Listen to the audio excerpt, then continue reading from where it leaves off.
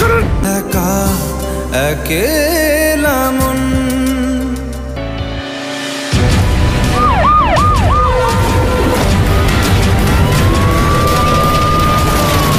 ভালোবাসা এমন এক মায়াজালের নাম যেখানে আপনার হৃদয় ভেঙে টুকরো টুকরো হয়ে গেলেও হৃদয়ের সেই প্রতিটা ভাঙা টুকরো দিয়েই তাকে ভালোবাসতে মন চাইবে। Hello guys welcome to my channel today I am explain the movie Chirodini Tumi Je Amar two so let start the explanation. Movie শুরুতে জ্যোতি নামের একটি মেয়েকে অ্যাসিড দিয়ে আক্রমণ করার পরে খুবই ক্রিটিক্যাল অবস্থায় হসপিটালে ভর্তি করা হচ্ছে তাকে। ওদিকে পুলিশ তাকে বিভিন্ন প্রশ্ন জিজ্ঞাসাবাদ করার চেষ্টা করছে, কিন্তু মেয়েটি এরকম শোচনীয় অবস্থায় কোনো কিছুই বলতে পারছিল না এবং গণমাধ্যমও মেয়েটির সম্পর্কে পুলিশকে বিভিন্ন জিজ্ঞাসাবাদ করছেন। অন্যদিকে চিকিৎসকরা জেতির জ্ঞান ফিরিয়ে আনার চেষ্টা করছেন। পুলিশ অফিসার এবার মেয়েটির মাকে জিজ্ঞাসা করছেন যে তিনি কাউকে সন্দেহ করেন কিনা বা অপরাধীকে জানেন কিনা। জ্যোতির মা বলেন যে ভানু নামের একটি নির্দিষ্ট ছেলে আছে, যে সব সময় তার মেয়েকে বিরক্ত করত। পার্কের পাশে একটা খানাপিনা নামের দোকানে কাজ করে ভানু। যাই হোক সিন চলে আসে ভানু সর্দারের কাছে। তাকে থানা হাজতে ধরে নিয়ে আসা হয়। থানায় এসে ভানু তার এবং জ্যোতিষ সম্পর্কে পূর্বের ঘটে যাওয়া ঘটনা সম্পর্কে বলতে শুরু করে। ইন্সপেক্টর তাকে জিজ্ঞাসাবাদ শুরু করে এবং ভানু তাদের বলে যে তাকে বাধ্য হয়ে কলকাতায় আসতে হয়। তার বাবা মাকে সহায়তার জন্য। পূর্বে একটি কারখানায় কাজ করতে হয়েছিল তাকে। ভানু যখন প্রথমবার কলকাতায় আসে, রাস্তায় তখন তাকে একজন প্রস্টিটিউট উদ্ধার করে এবং তাকে বর্তমানে কাজ করা এই দোকানে কাজ নিয়ে দেয় এবং ভানুকে সে নিজের ভাইয়ের মতোই ভাবত। কিন্তু ওদিকে জ্যোতির মা ভানুকে প্রস্টিটিউটের সাথে কথা বলা দেখে ভানুকে আরও বেশি সন্দেহ করে। সেভাবে ভানু মনে হয় খারাপ ছেলে। যাই হোক, এবার ইন্সপেক্টর ভানুর মানিব্যাগে জ্যোতির একটি ছবি পেয়ে তার সম্পর্কে আরও জিজ্ঞাসাবাদ করতে থাকে।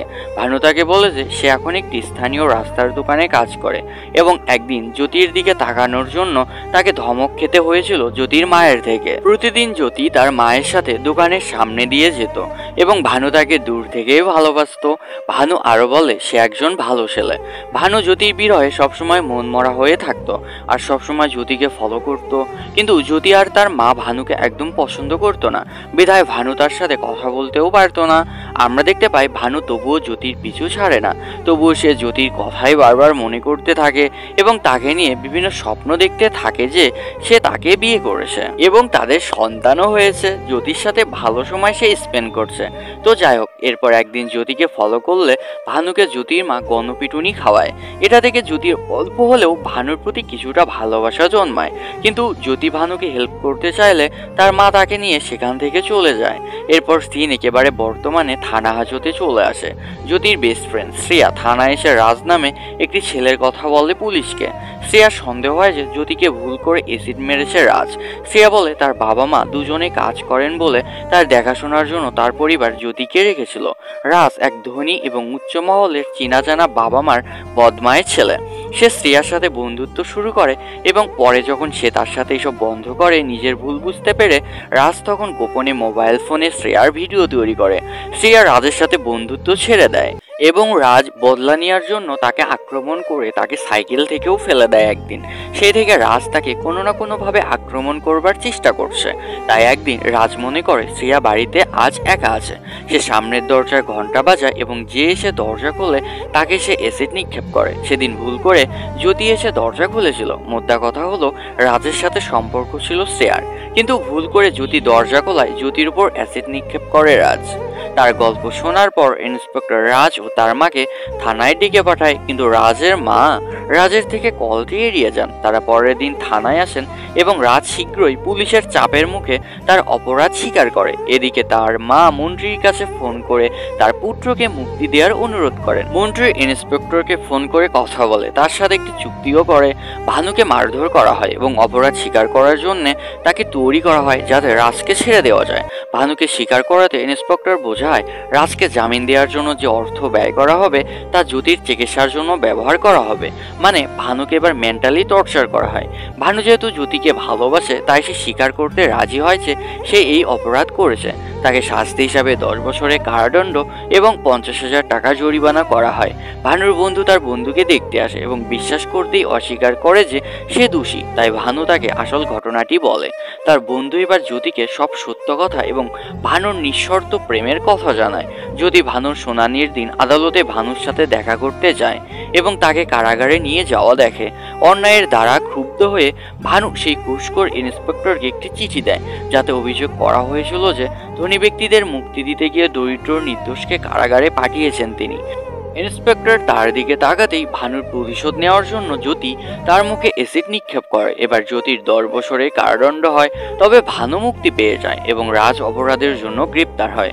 ছবিটি শেষে ভানু, তার মা এবং তার বন্ধুকে নিয়ে তার প্রেমিকা জ্যোতিকে দেখতে যায় জেলে।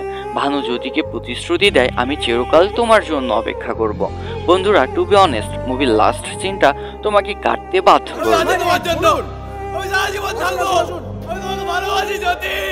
আপনি যদি ভালোবাসেন মন থেকে, সেখানে থাকে না দৈহিক চাহিদা প্রথম শর্ত হিসাবে।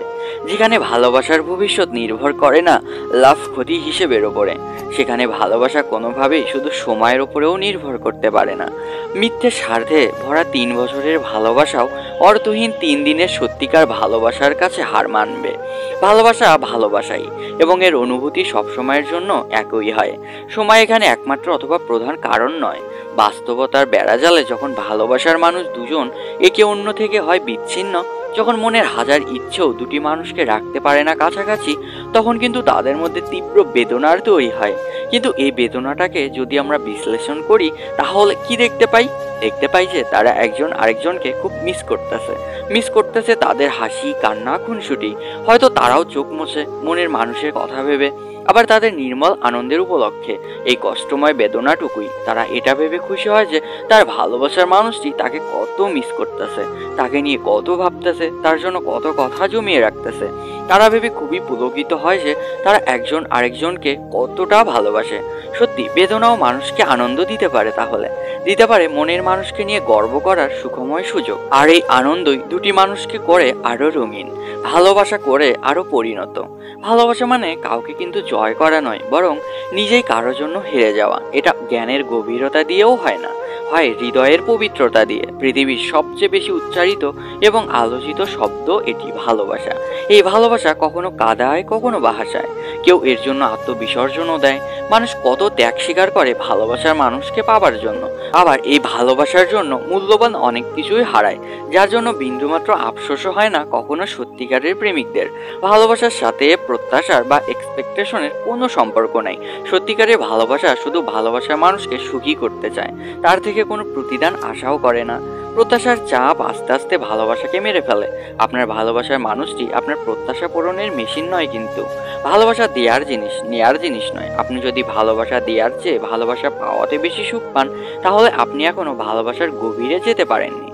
গভীর ভালোবেসে যে সুখ পাওয়া যায়, তার সাথে প্রায় অন্য কোনো সুখের তুলনা চলে না। তো আবার দেখা হবে অন্য কোনো মুভির এক্সপ্লেনেশন ভিডিওতে। আজকে আমি মামুন বিদায় নিচ্ছি। সে পর্যন্ত প্রিয়জনের খেয়াল রাখুন এবং সাথে নিজেরও খেয়াল রাখুন।